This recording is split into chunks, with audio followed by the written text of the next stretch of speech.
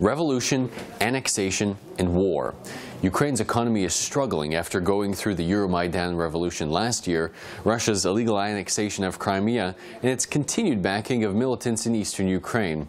On today's press review for Ukraine Today, we take a look at a piece in The Telegraph that paints a very dismal picture of the road Ukraine's economy is heading down.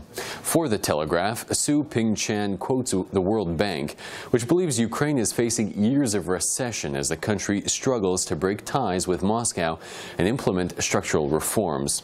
While the organization expects Ukraine to emerge from recession in 2016, it said this forecast was subject to substantial risks, adding that the economy faced a prolonged period of contraction if trade relations between the two countries continued to deteriorate, and the country failed to implement vital reforms to its energy and banking sectors.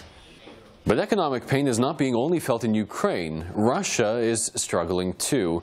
Dmitry Medvedev, Russia's prime minister, admitted last week that the double shock of the collapse in oil prices and Western sanctions following the annexation of Crimea last year presented an unprecedented challenge for the economy. While Russia has to go it alone through economic stress, part of which is self-inflicted, Ukraine has been given a lifeline by the IMF. $17.5 billion was approved last month as part of a larger four-year bailout program.